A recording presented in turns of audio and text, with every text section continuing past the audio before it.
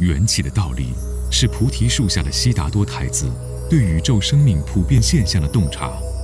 佛教以缘起解释世界、生命及各种现象产生的根源，由此建立起佛教独特的世界观和人生观。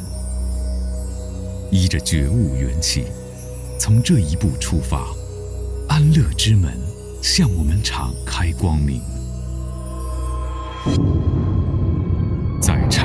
生命流转的十二支因果缘起中，一个拄着拐杖、步履蹒跚的盲眼老人所代表的无名是第一缘起。以老人作为代表，是因为轮回没有起始；眼盲是因为看不见人和事物的真相；拄着拐杖，则是因为尽管无名能产生众多的痛苦，但却没有真实的基础。而正因为无名不是奠基于实相，自然能被智慧所破解。无名有两种，一种叫根本无名，它是对人与事相产生错误认知的一种实体；另一种叫知分无名，它所误解的对象是因果循环，也就是业报。这种无名让人看不清种什么因会招致什么果，它还会增长邪见，像是教人以为作恶会产生快乐等。在轮回图的第一个部分，已经对无名有了一些简单的了解。举例来说，如果我们不幸堕入轮回恶道的话，主要的原因可能是造作了杀生的恶业，那么。你谋创、执行，一直到完成杀业的这段时间的错误想法和懵懂，就是引发这个特有行为的无名。如果要是除去了无名，知道造作恶业将来会遭受什么恶果的话，根本就没有人肯去造业，还有谁会去杀生、偷窃、耽溺于不正常的行为、说谎、搬弄是非、侮辱他人？或者是无意义的喋喋不休呢？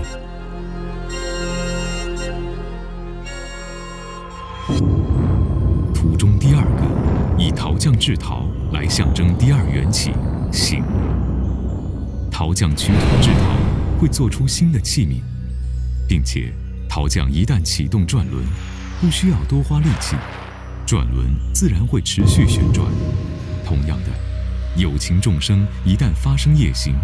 就会在心识里种下习气种子，而这份习气能一直横行无阻，直到产生果报。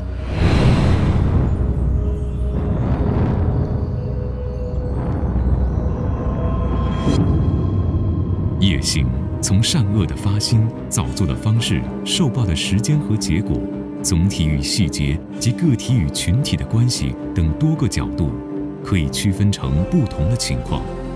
但造作使人投生善道或恶道的完整行为过程，必定包含下列五个因素：一、发生意图；二、确认作意的目标；三、加行准备；四、正行完成；五、夜行完成前原先意图不曾改变。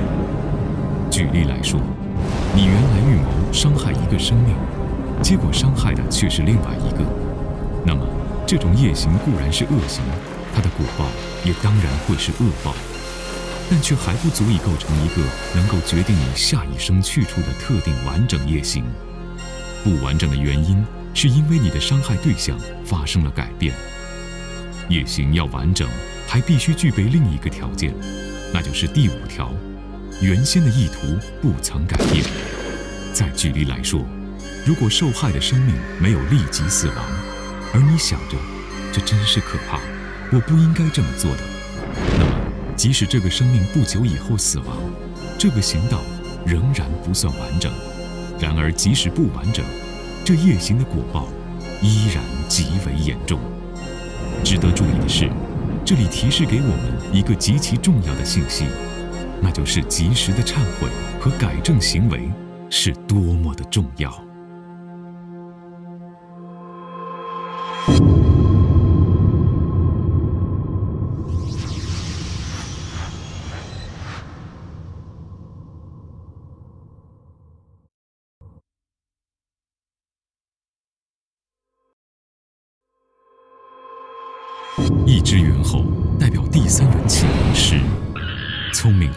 猴子很能代表实体飘来荡去的灵动特质。在十二元起里，石又可分为两种：阴石与果石。由第一元起无名引发的第二元起夜行一旦完成，其功能便会流入当时的心识。这个短暂的心识就叫做阴识，在夜行完成的当下立即发生。阴识指的是沾染善恶的潜能种子，是个中性的实体，所以无论是善是恶都能沾染。以善恶或德行非德行的方式烙入心识的这种夜行习气，具备一种功能。它能够决定有情众生未来生投生的地方，而决定今生的功能，则有可能来自于过去任何一生中所造作的无名业行。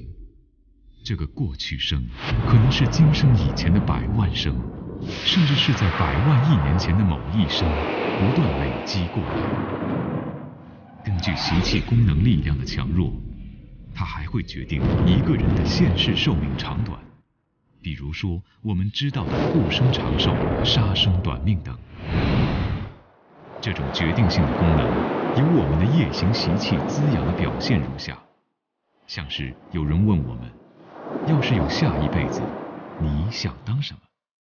我们会立即回答，我想当什么什么等。又或者，有些人从小就喜好杀生，而有些人则恰恰相反，天生慈善平和。这的确昭示出，我们其实一直受自我夜行习气的牵引，在知觉或不觉间孕育着某些功能。然而，从实际角度出发，我们又几乎无法控制自己能够不被习气牵引。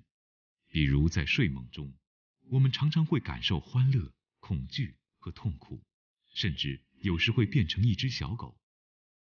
但我们却很难改变自己在睡梦中的处境。同样，在现实生活中，我们也常常将自己置于怒不可遏或是情不自禁的失态境地。那么，学会控制处于生命临终时的牵引习气，对于我们来说，真的是一件难比登天的事。现在，我们明白了，当一个人的一生即将终尽时，此生的功能会受某些夜行习气等因素的滋养，从而引发投生的去处。那么，你会选择如何面对死亡？因时的概念已经开始向我们指出了临终忏悔和往生超度的重要性，尽可能的让你临终的现行习气不要成为堕入轮回恶道的牵引动力。而大部分人在临近命终时，往往启动的现行习气，是对自己的财、情、名、权等的强大执着。巴尔扎克笔下那个手握黄金不肯咽气的可怜老头格朗台，就是最典型的例子之一。而这种执着，恰恰是极易使人堕入三恶道的牵引动因。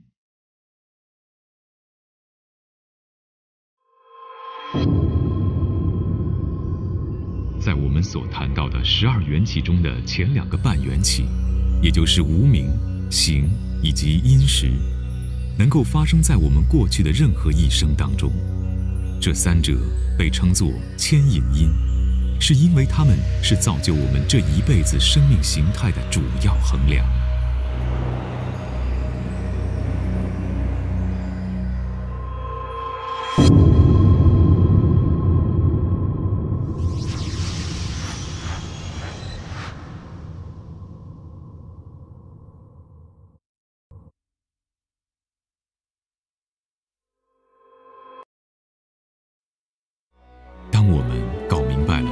致我们如今生命形态的这前两个半缘起，再接着讲述发生在今生的后七个半缘起和发生在后世的两个缘起，就会容易得多，因为它们主要发生在我们的现实生活当中，似乎离我们更近和更易理解。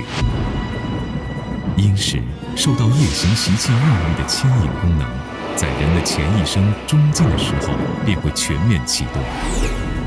我们的生命在前生与后生之间，会有一段短至一刹那，或长达四十九天的中阴身时期。据说，在这个时期，中阴身为了找地方投胎，会在众生交配的地方徘徊。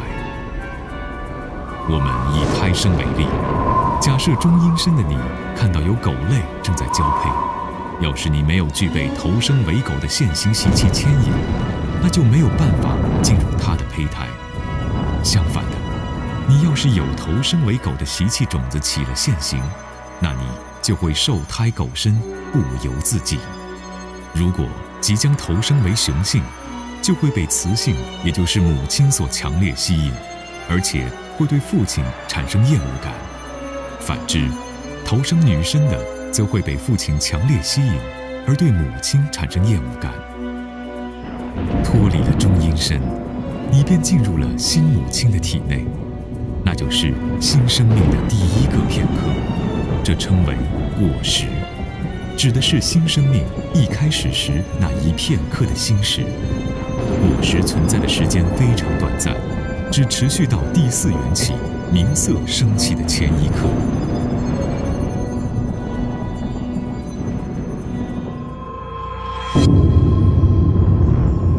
明色由一个人乘船来表示，明是指一个生命受想行识等四个精神范畴的聚集，色是指物质现象的聚集。一个生命的精神范畴搭乘在物质现象的船里。这基本构成了一个完整生命的形态，也就是身心的开始。在生命胚胎的发育期间，直到五官长成之前，都属于明色。五官的形成，成熟了第五个元气六入，由一间空屋的六扇窗户表示。六入指的是眼、耳、鼻、舌、身、意这六根。这六根是眼识、耳识、鼻识、舌识、身识和意识这六识的所依处。六识依赖这内六根来感知外部的六境，即色、声、香、味、触、法。当可以感知外部事项的六入开始起功用的时候，第六个元气触。也就是接触与感受，就顺理成章地发生了。触，在画面中由一男一女的接触来代表。大致上，这个图格象征的其实是一种分别状态。当我们用一个由之前发生的夜行习气种子所滋养出的心识经验体，通过眼、耳、鼻、舌、身、意。这六根接触到外部色、声、香、味、触、法这六境，从而产生新的眼识、耳识、鼻识、舌识、身识和意识这六识，进而就使人能够辨别物象为使人喜欢的乐，还是令人讨厌的苦，又或者是我们称之为舍的中性的感受。七元气兽，以一支插入人眼的剑来代表。这种生动的方式描绘出兽是我们日常生活的中心的事实。剑插入眼的强度，说明了苦与乐对于我们生活的控制程度。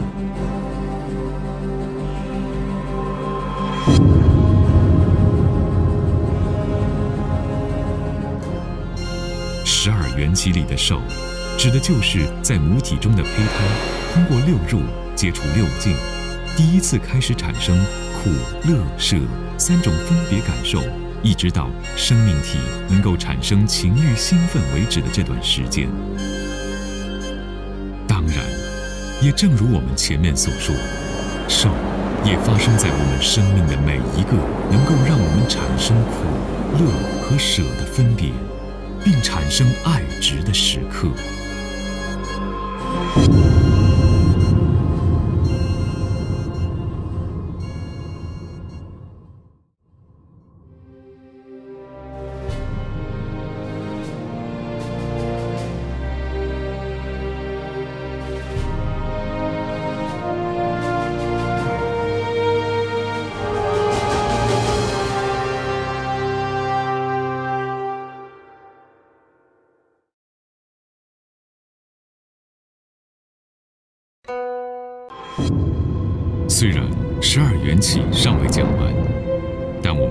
现，我们在不断的接近真相。通过前面所了解的无名、行和因时，这发生在过去时的前两个半缘起，我们基本明白了，我们应该学会通过改变自己的业行，进而控制自己将来的去处。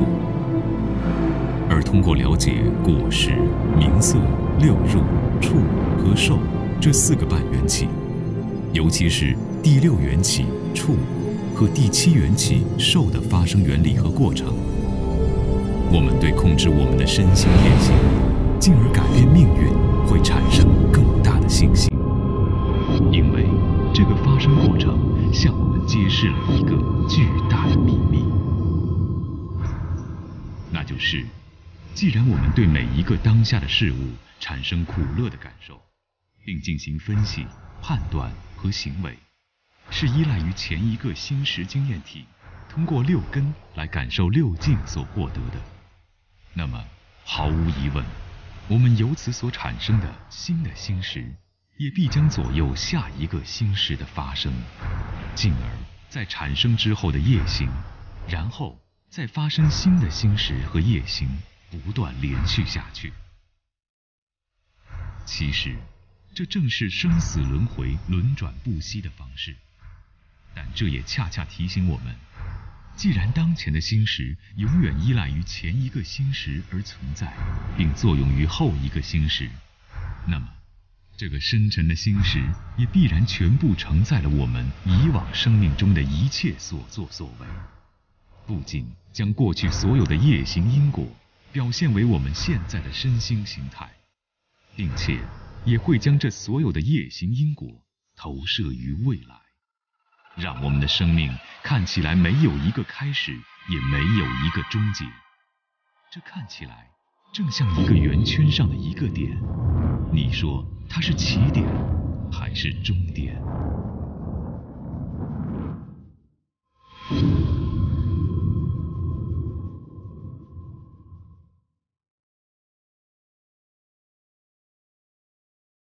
欲知前世因，今生想者是；欲知后事果，今生作者是。元代知名学者刘密在《三教平心论》中的这句寄语，至今为人所耳熟能详。对应现实生活，这句话的简单翻译就是：如果你想知道你的过去，看一看你现在的情况；如果你想知道你的将来，看一看你目前的行为，所以改变自己命运的大门，其实已经在向我们敞开，那就是去觉悟当下的自己。尼连河畔菩提树下的乔达摩悉达多，在夜读明星的当下，觉悟了缘起性空的宇宙真相，瞬间摆脱了苦难轮回的束缚，获得了彻底的生命解放。当我们从这一个当下开始培养觉知，体察无常，放下情绪，谨慎因果时，生死之轮就开始发生改变。我们会逐步发现，原来这每一个当下本就清净圆满，具足一切美好与幸福。当我们开始去改变这每一个点的时候，所改变的将是我们的整个生命源泉。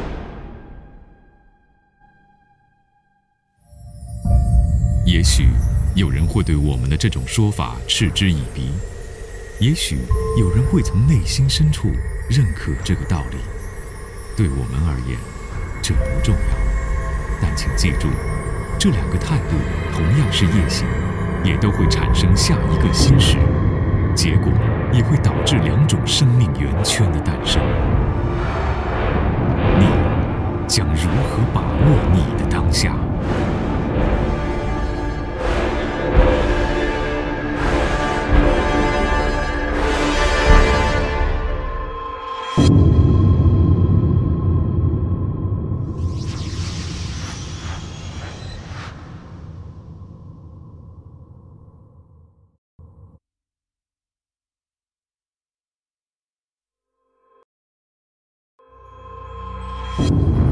第八元气，爱，是指一个生命因为觉受到苦乐等分别而产生贪恋执着。爱，以正在厌乐的人们为代表，这表现出人们趋乐避苦以及不愿意减少舍受的欲求。虽然自打娘胎开始，我们就能感受到爱恋执着，比如从小时候的执着玩具。到长大以后执着事业和爱情，但在十二元气里，爱所强调的主要是能滋养业能，以牵引未来生的爱业。而第九元气取，则是对爱的一种更强烈的染著。在图格中，由正在采摘树上水果的人来表示，正好像一首歌的歌词一样，爱的痛了，痛的哭了。哭得累了，日记本里夜夜执着，记载着你的好，像上瘾的毒药，它反复骗着我。在生命的任何一个时刻，都有可能发生爱和取，将过去生的无名业因造成的今生果报，再次转化为未来生的因果潜能。第十元气。有，则是由爱取所产生的充分成熟业力，发生在今生的最后一刻，能够照感未来生的果报。有在途中由交媾的男女表现，象征由爱着和执取所滋养的业因，已经全部转化为潜在的业力，随时能照感下一生的果报。简单的说，有。意味着不可更改的结果。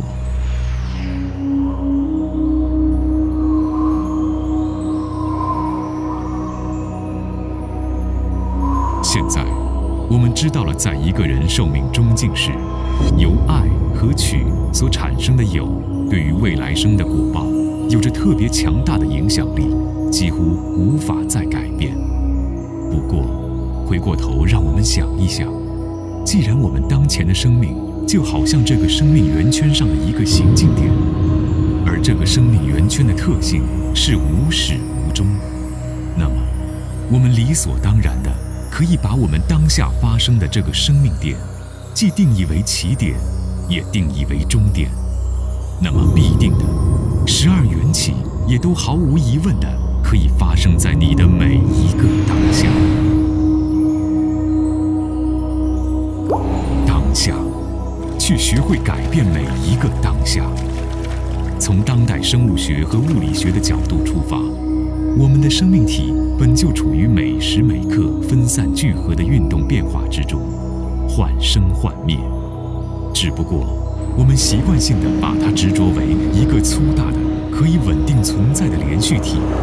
我们的生命，相对于之前的一个当下，现在的当下正处于分散之后的重新聚合。相对于之后的一个当下，我们的生命又正处于从聚合走向分散。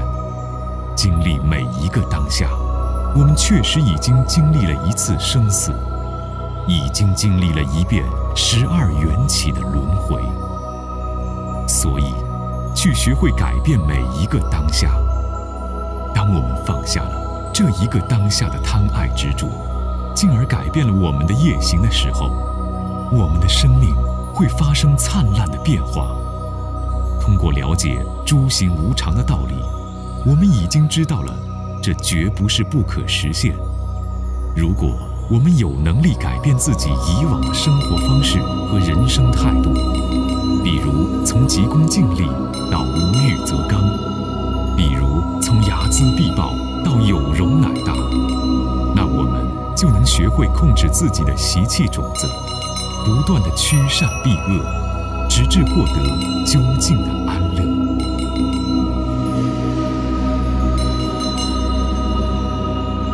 我们要去学习忏悔以往的无名业行，因为忏表示我们已经认识到以往处于无名愚痴的自己有多么可笑，而悔则强调出同样的错误今后不会再发生。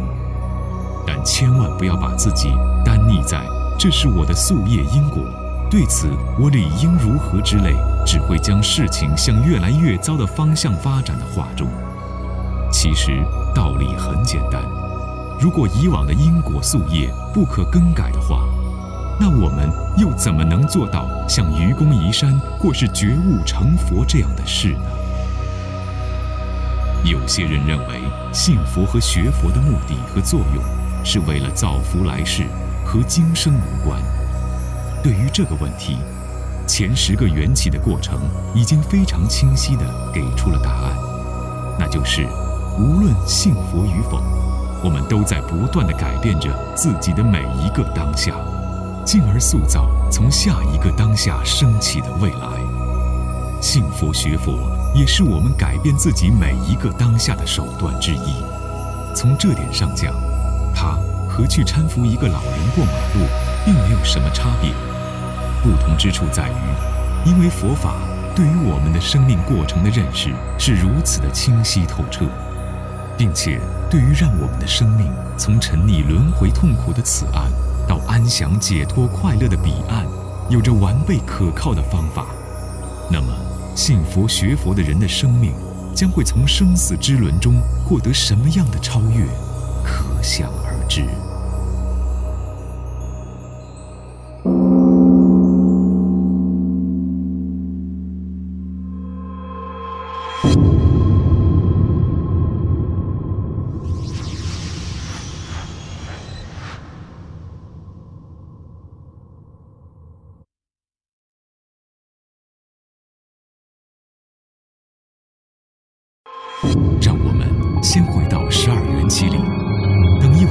再接着讨论如何解脱轮回的事。当我们暂时对于解脱轮回尚且力量不足的时候，那么第十缘起有这个在人临终时能照感未来生果报的潜在业力就会起作用，导致第十一缘起生的发生。生指的就是新的生命。在图格中由妇人产子表现，在十二缘起中，生指的是受孕的那一刹那，而不是指脱离母胎的时候。有了生，自然产生了标志着衰变毁坏的第十二个缘起——老死。图中由肩负重担的老人代表，十二缘起由盲眼老人开始，回归到负重的老人。让人确实感觉到我们的生命过程是如此不堪承受的迷茫和沉重。让我们再重复一遍这个因果轮回的过程。由于不了解事相和合无常的本来面目，我们陷入强大而恒常的自我执着，进而被鼓动起三项烦恼：贪爱、嗔恚和愚痴。第一圈中。由三种动物所代表的这三项烦恼，为生死之轮的发动机，让我们沉溺于第二圈黑白半圆所象征的善恶业海中。我们的每一个或善或不起心动念和行为结果，也就是业行，从这里开始推动我们在六道，也就是第三圈中的永恒轮回。轮回依着十二缘起的原理不断造作。即第一缘起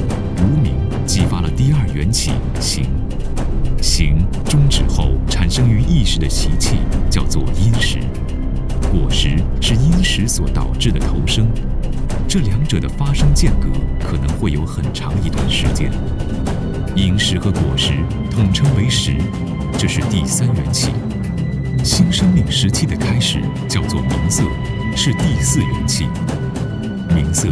会发展成第五元气六入，这是胚胎的发育。当身体形成之后，就发展出第六元起处，由处而产生第七元起受，由受产生第八元起爱，由爱产生第九元起取，由取发展成第十元起有，也就是下一个生命开始前的最后一个阶段。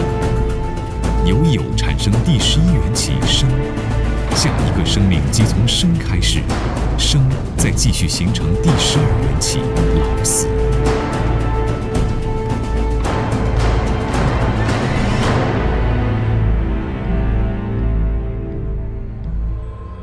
十二缘起的过程，还可以用三生来补充说明。